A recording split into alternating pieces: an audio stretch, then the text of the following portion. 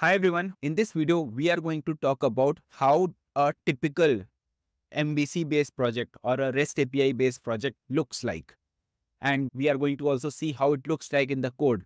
So what we are going to do is that we'll have a code base in Java where we'll have some controllers that is the REST APIs and then we'll connect it to the database and then get the data from the database and return to the user. So this will be the whole flow. So we have a Java application with us. We have to build some of the REST APIs and then we'll connect to the database, get some values from the database and return to the users. Let's quickly get started. So the first thing uh, is that I'll explain you how things look like overall whenever we implement any REST API in a Spring Boot or Java application. The first is a UI. Of course, there will be some UI which will call the backend with the help of REST API. Here there will be some REST API which will be called. REST API can be something like get, put, post, so those can be the REST APIs. There are a lot of other verb which can be used for the REST API. Then when the call comes to the backend, backend interacts with the frontend using something called as a class. That's a data transfer object. So this is how it interacts with the frontend using DTO. Now, in this controller within backend, any request which goes to the database should go via service. So the controller will make call to the service. Now the responsibility of service is that you need to make call to two tables or three tables. So all those things are taken care at the service level that it might be possible that one call goes to database and the other call goes to something else, maybe some other REST API. And then the responsibility of the service would be to combine the data and give to the controller. So it could be anything. And the responsibility of the service is to make call to whatever and then get the data, combine the data and give back to the controller. Now we have a DAO layer that is database access object layer. So here this particular layer or this particular code is responsible to make the database calls. And here you can have uh, multiple methods to call to the database. You can uh, write plain uh, SQL queries to interact with the database or you could use ready-made things like uh, Hibernate. So you can use all those things when you call the database and those logics will be present in the DAO layer. And the entities are nothing but something which corresponds to the tables in the database. Now let me go to the project and show you how things look like and then we'll see the overall flow. Let's take one of the controllers. So this particular project is a part of a series called a Software Engineering Bootcamp. And as a part of that series, I'm creating controllers here. So the controller is the one which exposes the REST API. So what you do is that you just put at the rest, REST controller, put at the rate request mapping, and then do slash cart. So in this way, all the calls will come to slash carts for this particular class. And then you can add slash product. So the request will become slash cart slash product. And here you add multiple methods. So whenever in your browser you type slash cart slash add product, the call will come here. So this is the controller. Now the controller, as I said, it makes call to the service. So here we have service and the service, the responsibility of the service is to either call some other service or call the database or both. So here, for example, I'm making call to the DAO layer, that is the database access layer. And here there is a logic to get the records from the database. So for example, here you see select ID from cart where. So this is a syntax on how you make the call to the database. What exactly is this JDBC template? I have explained in the, my previous video. So you can check out how to configure the database in the Spring Boot application. So that particular video is there. That's a shorter video. You can check out how things work there. But the idea here is more around the flow that the call came to the controller. From controller, the call went to the service. And then from the service, the call went to the DAO layer, cart to DAO. So that's the flow from controller to service to DAO. And while doing that, there are some of the classes that's called as the model classes. For example, this cart entity. So this cart entity represents the table called as cart. So it has ID, user ID, product, item, and we, we have bunch of properties or columns. So the class name represents the table name. Cart entity is actually cart. And then we have the variable name like id user id product id these represents the columns in the database id user id product id item count etc so these represent the columns And then you need to write some code to make the call. So those things are done in the DAO layer. So if you come to this cart DAO, here you make call. For example, let's do us check the simpler one.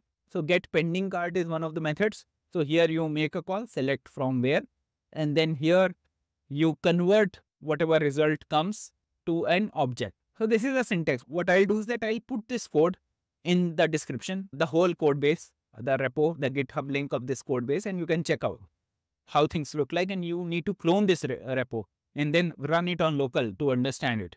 And, and of course, you can reach out to me on LinkedIn or YouTube uh, comments and I'll try to explain you. But the idea is that this is a syntax to access the database records. Now let me do one thing. We have gone through the flow that there is a UI, there is a backend, and within backend we have a controller. Then controller makes call to the service, then service makes multiple call to other either other other service or the DAO layer, and then the DAO layer makes calls to the database. And then we have entity, which represents the table in the database, and then the variables within the entities are the columns in the database. DTO is nothing but the classes which interact with the UI. For example, here, cart DTO is something which will return to the UI. So cart DTO will come into the picture in cart controller. So here you see, we are returning cart DTO. So that's how the things work. Now, I have made those changes here. I have added cart DTO, order DTO, and product controller. So basically cart controller, order controller, and product controller. I have added the DAO for the same. I have added entity and the DTOs.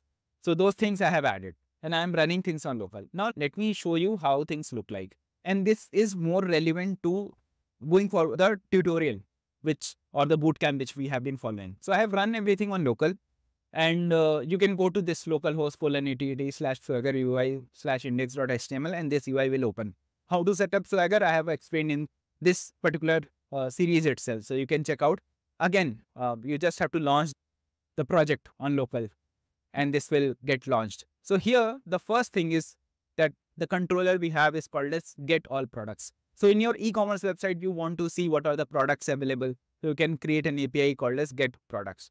When you run this, you will get something like this. So we have a product with ID 1, name, description, and whatever items are available.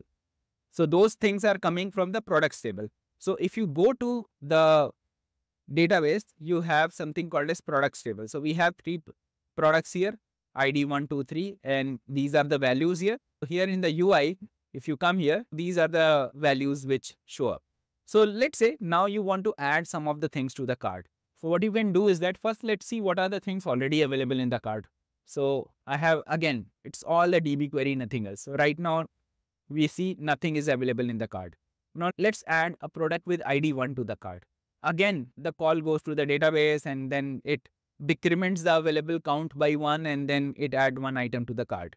So right now there is one item in the cart and if you see the total available count here for the product ID one. Now if we come here to the get all products. So right now the product uh, is 96, right? Now let's run it again and see what's the value. Now, since one item is added to the cart, so we subtracted one item in from the database. So we added the things to the cart. Then what we can do is then we can place the order. So you go here and then you give your address.